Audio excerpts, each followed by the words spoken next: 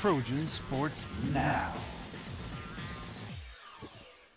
Hello and welcome back to Trojan Sports Now. For this week's Trojan Profile, I am joined by Marc Davis, head of the track and field team. So, Coach, thank you for joining me. No problem. So, first off, just you know, how has been coming to Troy? You, you know, new coach. Just talk about your experience first off here in Troy. It's been great so far. I mean, everybody that I've met, they've been very personable. They've accepted me and the whole staff with open arms, and you know, they've they've been very very supportive. So it's been it's been a great experience so far. So to kind of get a little to know you a little better, mm-hmm. what made you want to be a track and field coach? It's a very good question. Um, when I first got out of out of college, you know, I wanted no parts of track and field. I kind of wanted to just kind of step away because I was just so burnt out from competing for four years in college, four years of high school, and even before that. And then I got home for like a month and was just like, I, I miss it. I wanted to go back to it. So I knew at that point that I was going to be a coach. I called my uh, my college coach, asked him if I could come back to volunteer, and the rest was history. I've been coaching for this is my 20th season now as a coach, so it's been great.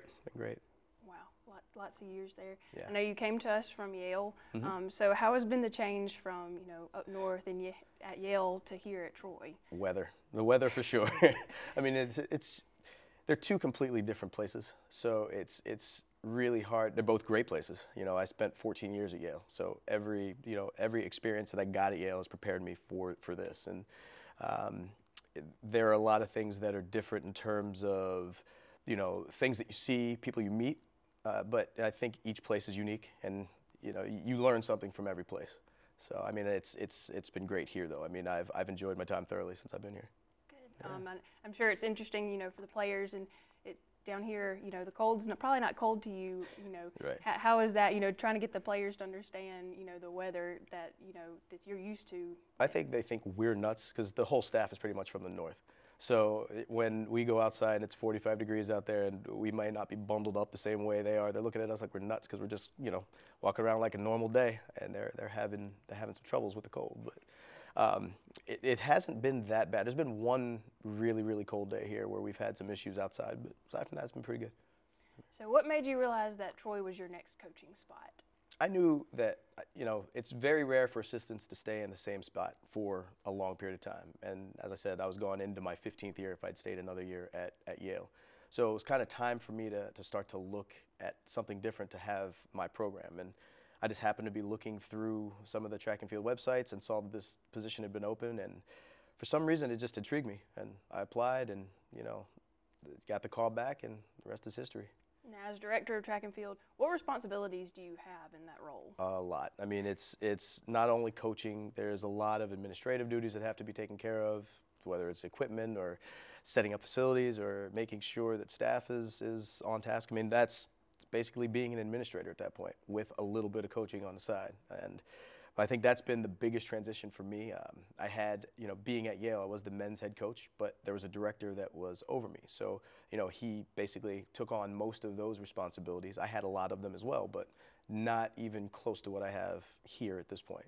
Now, is it hard to balance the administration and the coaching for you right now? At first, I, I could say it was just because I wasn't used to it. I was just so used to, you know, get up, go to practice, and that was it. Or get up, go, get the few duties that I had at the university done, and then go to practice. But here, you know, you just have to be able to budget your time. It's just like I tell the kids. It's if you can budget your time well, everything will fall into place. And and that's what I've had to learn to do. A big um, calendar that I have to write everything down on because if I don't, I'm going to forget things. So I mean, and that's that's how I've adapted to it. Now, you're on the board of directors for the U.S. Track and Field and Cross Country Association. Mm-hmm. First off, how did you get on the board of directors? Um, basically, at our national convention a couple years ago, I was nominated and then voted in to that position. Um, and basically, what we do is we, we talk about rules, we talk about standardization of track and field, and, and trying to make the sport better. Um, at that point, once we've discussed some of those things, we, we pass it on to the executive committee who kind of mulls over the decisions that we've made, and then they pass it on to the, the body of the USTF CCCA, which is our you know, national body. Now, is it hard as a coach or easier as a coach to be on this, knowing the rules that are coming? I think it's a, it's a great opportunity for me to know what's coming before it, it happens. Um, you always want to know what's coming down the pike before it gets there. Uh, sometimes there are things that do come up that we're not that we can't discuss with other people. So that's that's something that was different for me over the past couple years was was having that information, knowing where it came from, and having to hold on to it for a little while before it was actually released. But um, I think it it helps for sure because you know how to plan accordingly. Whereas you know before it's presented, people don't know that it's coming. So. Now, right now you're in the indoor track season. Um, Just what is your focus so far this season, or what are your goals for your team? Right now, the the biggest goal was to get everybody to, to buy into the new program. It's it's difficult when you've had a regime that was here for I think the head coach was here before for eight or nine years. So you know you just have to let them know that what I have is going to work as well. Um, there are different ways to do everything, and you know they just had to buy into what my system was going to be. And you know for the most part, it's worked out pretty well. People have people have bought in. People have been doing well on the track. We've had some some very very good performances. We have kids that are struggling now, but I think we're starting to see some glimpses of, of very very good performances coming down the pike. So. And what kind of changes have you made, you know, for your team? Um, I think the first semester, the, the structure that we had was a little different than what they had before. Um, I do a lot more in terms of interval training in the first semester. You know, I incorporated more speed in the first semester, and I think that was something that was that was new to them. I, I know that a lot of kids have said they had never done that much speed in training before the, se- the second semester. So I think that was the biggest thing that we we did was we incorporated that kind of training into it. Okay, so you have the outdoor season coming up. You Mm-hmm. know, um, is the indoor season like a preparation for the outdoor season, or can you discuss the two, you know, a little differently?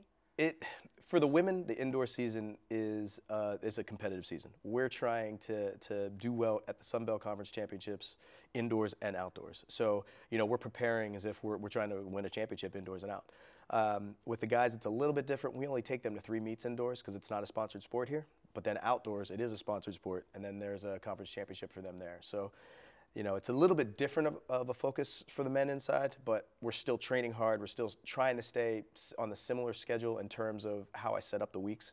Uh, you know, where the women are competing on Saturdays uh, or Fridays, the men, what they're doing is they're stand back and we're doing meet simulation, or we're we're doing some up tempo things just to kind of keep them on the same schedule as what the women are doing.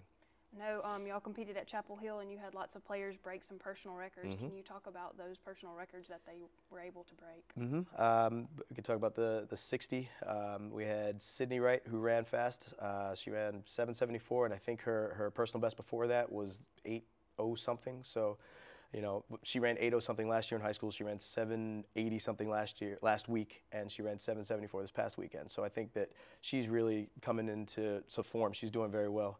Uh, Camilla Alexander, she ran 792, I think, this past week. Um, prior to that, I think she was in the eight O's as well. And I think who's the Sierra King actually ran very well in the in the 60 as well. She's getting better. Um, she's starting to come into form. Um, in the 400, Niata Alexander ran fast in the in the 400 again. Um, she, like I said last week, she was on the uh, national list. Uh, so hopefully she can continue doing what she what she's doing right now. Julia Ostendorf ran well this past weekend. She she had a personal best in the 3K, and Michaela Hodges as well. So we were having some very very good performances in a lot of different areas. Now, do y'all as a team, you know, set up and say, okay, we want to break these personal records, or is your team more for the team goal? How how do um, y'all set goals at the start of the season? Right now, what I'm trying to do is just establish a team, team atmosphere, team. You know, when we get there, it's one team, and that's what I'm trying to preach. And I don't focus on the, the personal record. Track is different. You don't chase time. When you chase time, things go backwards in a hurry, and you start to run slower. You start to think about everything you're doing. And you know, one of the biggest cues I have with any of the athletes that I coach is when you get on the track, don't think, just run. And that's that's kind of how I, I approach everything. Um, and good times will come. Personal records will come. School records will come. Things will happen if you just let it happen. Okay, so now, Coach, we want to get to know you a little better. Okay. So I have some fun questions for you. Okay. First off, what's your favorite food? Indian food, and it's hard to find. Yes, especially down here. Yeah, yeah. I have to go all the way to Montgomery to find it, but I love Indian food. Okay. Favorite music? Um, hip hop, R&B. Do you make your team listen to that? I do not. Okay. I do not. I kind of let them do what they want to do with that. Yeah. Your favorite movie? Coming to America. Why is that? Uh, just it's just one of my favorite movies of all time. I laugh every time I see it. You always find something new with it when you you can laugh at, and it's the only movie I know every lyric or every line to everything in that thing. Um, the last book you read? Oh man, it was. It's a good question. I haven't read a book in a while, so I mean, it was it's a trade, a lot of training manuals. That's basically it. Just trying to stay up on the sport. Okay. keeping Yeah. keeping your coaching in Yeah, mind. absolutely. So, what do you do in your spare time, or do you even have spare time? For me, in my spare time, I ride motorcycles quite a bit. So that's what I do. I go out open road and I just kind of calm down and relax and just ride for a little while. Come back and kind of chill. So I'm pretty easy, easy going, laid back type of guy. So All right. Yeah. thank you very much for joining me today, Coach. Um, I wish you the best of luck in both indoor and outdoor season. thank you, appreciate it. And stick around for more Trojan Sports Now. We'll have a preview of what's coming up in Troy Athletics.